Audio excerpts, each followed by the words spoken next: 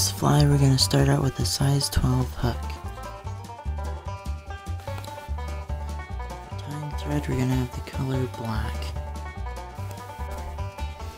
Okay, so we'll start out with our black thread.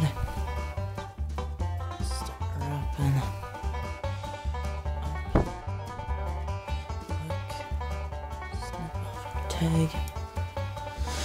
I'll just cover up that end. Wrap back. Right there. Cord up our tying thread by spinning the bobbin. And cord it up really well. Start wrapping it back up. Nice uniform wraps. And once in a while you'll you'll have to cord it back up again. This will be our body.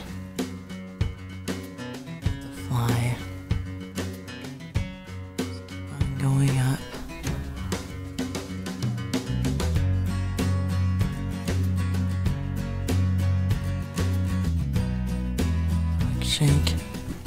Then we'll let it untwist itself. While we're doing while we're doing that, get our dubbing ready. This is just llama hair. I don't know if you can get that anywhere or not. Okay, so it's done now. Just take some of it. Just do a dubbing loop, dubbing rope here.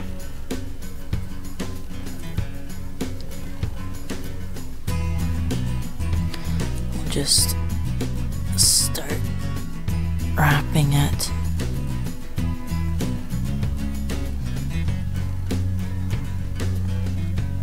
To create a nice little bushy head.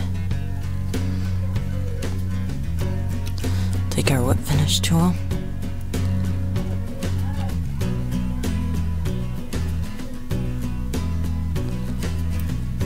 We'll do a four to five turn whip finish. Seat the knot well. And then snip our tying thread free. And you can sort of just clean it up if you want to.